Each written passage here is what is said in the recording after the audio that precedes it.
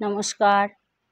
বন্ধুরা, আমি আশা করব আপনারা সকলে ভালো আছেন, আমিও ভালো আছি। আমার বাড়ির, আমার স্বামী ছেলে ভালো আছে, আমার মায়ের একটু শরীর খারাপ, মা তো আমার কাছেই থাকে। তো ডাক্তার দেখিয়েছি, এখন একটু ভালো আছে। তো বন্ধুরা, আমি বলেছিলাম, ব্যাঙ্গালোরে তৃতীয়বার গিয়ে আবার রক্ত দিয়ে এলাম। তো তৃতীয়বার যখন আবার ব্যাঙ্গালোর গেলাম, তাহলে কত খরচা আমার দেখুন বন্ধুরা। তৃতীয়বার যখন আমি ব্যাঙ্গালোরে গেলাম, তখন ব্যাঙ্গালোরে গিয়ে আমি আবার যেখানে দ্বিতীয়বার যে রুম ভাড়া করেছিলাম কম পয়সায়, সেই রুমেই ভাড়া করলাম। সেখানেই ছিলাম লজে থেকে ওখানে রিপোর্ট নিয়ে ডাক্তার দেখালাম, তখন ডাক্তার বলছে, একটা পরীক্ষা করতে হবে। হ্যাঁ পরীক্ষার জন্যে আমি লাইনও দিয়েছি। বসে আছি। এমন সময় আমার বর বলছে, তোমার এই পরীক্ষাটা করতে গেলে একবার তো কলকাতায় করেছিলাম। তখন খুব শরীর খারাপ হয়ে গেছিল। মানে তুমি বাঁচার মতনই ছিল, মনে হচ্ছিল এখনই মরে যাবে। তো বন্ধুরা, আমি ভাব, বললাম কি, তাহলে এই পরীক্ষাটা আমি এখানে করব? এখানে যদি করি, তাহলে এখানে করলে আমার অসুবিধা হতে পারে। যদি কিছু হয়ে যায় তুমি একা কী করবে?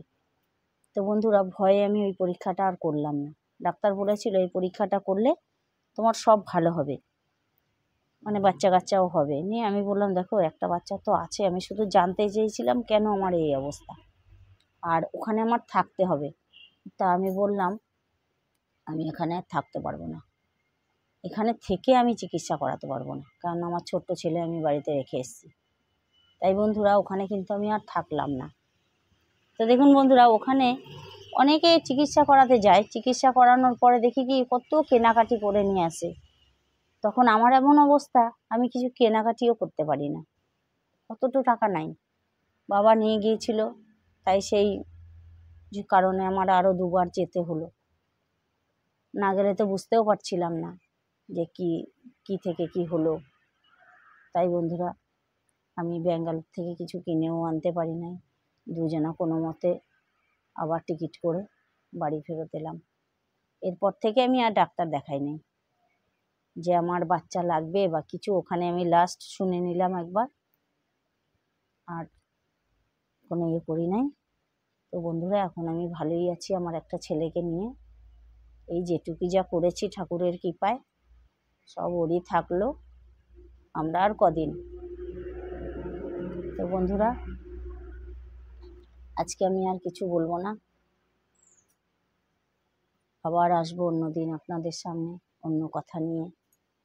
তো বন্ধুরা, আপনারা বোধহয় আমার ভিডিওটা আর দেখছেন না। আপনাদের কি ভালো লাগছে না? যদি ভালো না লাগে, তাহলে কমেন্ট করে জানাবেন। আমি তো শোনার জন্য রেডি হয়ে আছি। কে কি বলে?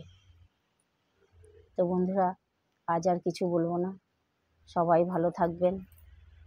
আপনাদের, আমার এই ভিডিওর মাঝে বোধহয় আমার একটা কুকুর আছে বাড়িতে, ওর আওয়াজ হয়ে গেল। ও সবসময় আমার কাছাকাছিই থাকে। তো বন্ধুরা, নমস্কার।